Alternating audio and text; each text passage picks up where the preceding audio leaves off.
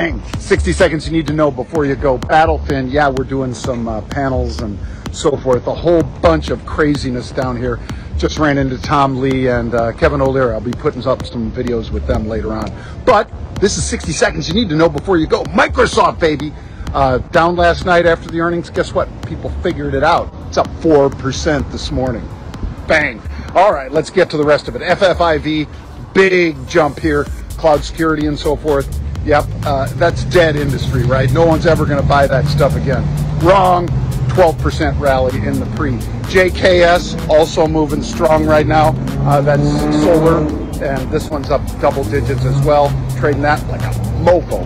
And DraftKings, DKNG, gets a Morgan Stanley mention and upgrade. Uh, now for some bad news for Hasbro. Why? Because they lost the uh, Frozen uh, franchise to uh, Mattel. So Mattel is up, Hasbro down. Lastly, GLW, another nice uh, earnings result, and they are trading higher. I am Jon Najarian. Daily Crypto Bite, 10 a.m. That's 2-5. Uh, Pete's on at 10.30 a.m. Eastern Time with his take. He calls it the take. And I'll be on with 3 at 3 later today. Hey, folks, fabulous time down here at Hedge Fund Week.